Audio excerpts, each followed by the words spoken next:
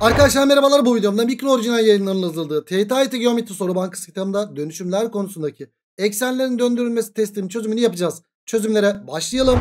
Örnek 1'de A2 2 noktası veriliyor. Bu düzlemde eksenler orijin etrafında pozitif yönde 15 derece döndürülüyor. Bak şimdi. Analitik düzlemi çizelim. Arkadaş analitik düzlemi çizdin.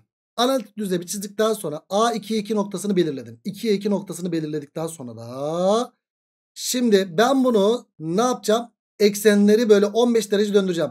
Ekseni pozitif yönde 15 derece döndürmek demek. Arkadaşım şu ekseni pozitif yönde 15 derece döndürmek demek. Aslında noktayı negatif yönde 15 derece döndürmek demekle aynı şey. Değil mi? Ha böyle ekseni döndürmüşüm noktaya yakınlaştırmışım. Ha böyle tersinden noktayı buraya yakınlaştırmışım. Aynı şey değil mi? Evet. O, o zaman noktayı döndürmeyi ben daha rahat biliyorum. O zaman noktayı döndüreyim. Noktayı döndürsem hop bu buraya gelecek 15 derece döndürürsün. Ama dikkat burası 2 burası 2 2 2 2 kök 2 burası. Şimdi noktayı döndürelim bakalım. Noktayı bir 15 derece döndürsem hop buraya gelecek. Hocam şu uzunluk 2 kök 2 iken 2 kök 2'lik bir, bir yay derecesi dönmeyecek mi? Evet. 15 derece döndü. Hocam bu 2 2 2 kök 2 45 45 90 üçgeniydi. O zaman burası 30 derece yaptı.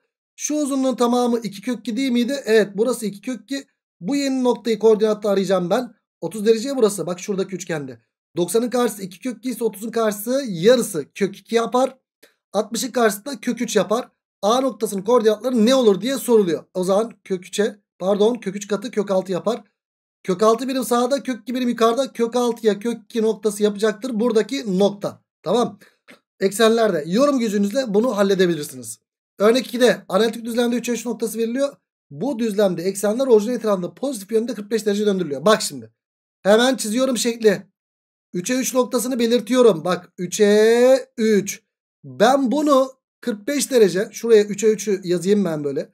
Ekseni böyle 45 derece döndürüp böyle yakınlaştıracağıma buradaki noktayı bu şekilde döndürsem şu noktayı bu şekilde 45 derece döndürsem daha iyi değil mi? Evet.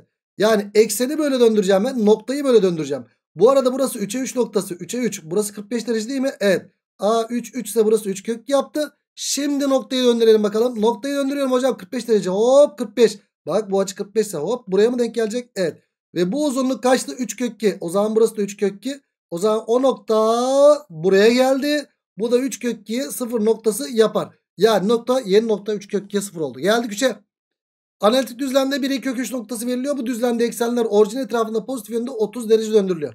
Hemen yine analitik düzlemi çiziyoruz kardeşim. Analitik düzlemi çizip yorumluyoruz. Eksen döndürmesi. 1'e kök 3'ü belirliyorum. Hocam 1'e kök 3 burada. Şöyle geldim. 1 böyle geldim. Kök 3 noktası. 1'e kök 3 yaptı burası.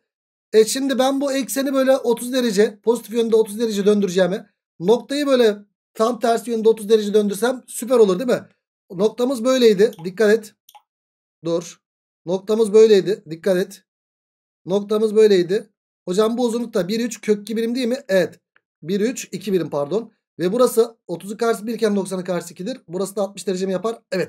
Şimdi bu noktayı döndürüyorum. 30 derece. Bu yönde 30 derece döndürdüm. Hocam 30 derece döndürünce hop 30 derece dönmüş halinde. O zaman buraya 30 derece kaldı. Yeni noktanın koordinatları isteniyor. 2 birim ya burası. Hocam burası 2 birim. Şuradaki dik üçgene bakıyorum şimdi. 90'ın karşısı 2 ise 30'un karşısı 1 yapar. Burası da kök 3 yapar. Kök 3 birim sağda 1 birim yukarıda kök 3'e 1 noktası yapar buradaki noktada. Yorumla hallediyor muyuz? Çok güzel hallediyoruz bence. Evet örnek 3 bu şekilde. Örnek 4'e geldik. Analitik düzlemde A6 7 noktası veriliyor. Bu düzlemde eksenler orijin etrafında pozitif yönde bir miktar döndürülüyor. Son durumda A noktasının apsisi 9 olduğuna göre. He. Analitik düzlemi çizelim bakalım. Analitik düzlemi çizdik böyle. A noktasını belirledim. 6'ya 7 noktası. Şöyle geldim 6'ya böyle geldim 7 noktası. Bu sefer orijini döndüreceğiz. Yani ekseni döndüreceğim. Ekseni diyor bir miktar döndür. Bir miktar döndürdüğümde o zaman x ekseni bu. Y ekseni de bu mu olacak şöyle? Evet. Yani şu şekilde olacak bu eksenlerimiz.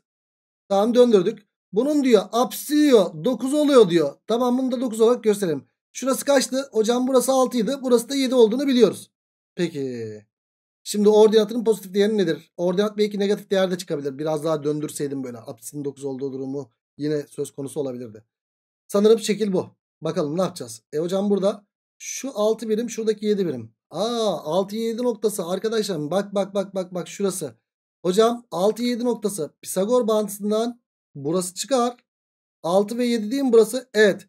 Bak dikkat et 6 ve 7'den gidiyorum. Şuraya A dersem A kare neye eşittir? 6'nın karesi artı 7'nin karesine eşit değil midir? Evet.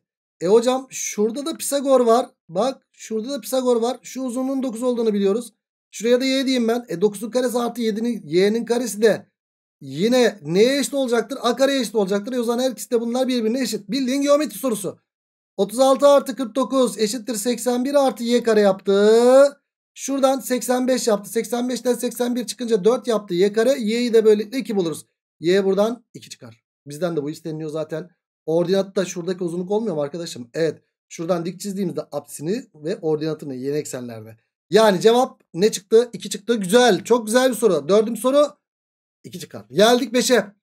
X artı y eşittir kökü doğrusunun bulunduğu bir analitik düzlemde eksenler orijin etrafında döndürülüyor. Arkadaşlar şimdi burada ne yapalım yine? Yine analitik düzlemi çizelim bakalım. Analitik düzlemi çizelim.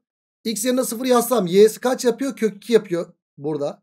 Y yerine 0 yazsam x'i de kök 2 yapıyor. Bizim doğrumuz ne oldu arkadaşlar? Bizim doğrumuz bu eksenlerde şu şekilde olacak.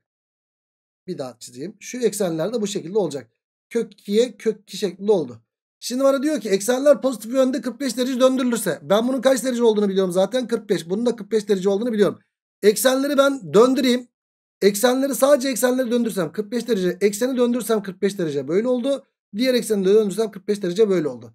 Yani bizim yeni eksenlerimiz bunlar mı oldu arkadaşlar? Evet. Şimdi yeni eksenlerde burası 90 derece. Aa yeni eksenlerde kaç derece döndürdüm bu arada ben bunu? 45 derece döndürdüm. Hocam 45 45 90 yaptı burası. Şu uzunluk kök 2 Bu uzunluk da kök 2 E 1 1 kök 2. Burası 1 burası 1 oldu. Hatta burası da 1 oldu. Şimdi benden ne isteniyor? Son durumda D doğrusu. D doğrusu bu değil miydi arkadaşlar? D doğrusunun X ve Y eksenine göre yazılışı soruluyor bize. Bak şurası 90 derece ve bir birim sağında. Yani şu oluştu. Bir birim sağında şöyle dik bir doğru oluşmadı mı yeni eksenlerde? Evet. Bu da x eşittir 1 doğrusu olmaz mı kardeşim özel doğru? Olur. Yani örnek 5'i bu doğru bulduk. Yani x eşittir 1 doğrusu olarak bulmuş bulunuyoruz. Ve geldik örnek 6'ya. x artı y eşittir 2 doğrusu yine analitik düzlemi çizip yorumlayalım. x yerine 0 y yerine 0 yazsam ne oluyor? Ee, 2'ye 2'de kesiyor değil mi? Evet 2'ye 2'de kesen bir doğrudan bahsediyoruz böyle. Hemen doğrunun denklemini şöyle grafiğini şöyle şu şekilde gösterelim. Ne oluyor? Orijin etrafında negatif yönde 45 derece döndür diyor. Bak orijini negatif yönde 45 derece döndür. Negatif yönde 45 derece döndürürsem arkadaş zaten burada kaç kaç derece 45 45 derece. Ben bunu da 45 derece döndürsem a paralel olmak zorunda. Evet eksen şu eksenle paralel oldu. E, y ekseninde negatif yönde 45 derece döndürünce böyle olacak.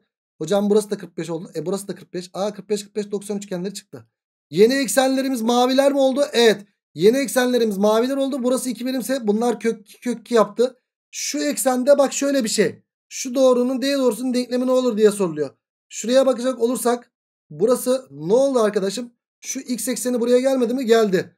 Ondan sonra y ekseni de bak y ekseni de yeni buraya geldi. Yeni x eksenimiz bu. Y eksenimiz de bu. Aa şöyle bakacak olursam şöyle bir şey oldu ya. Y eksenini kök 2 birim yukarıda bak maviler eksen ya.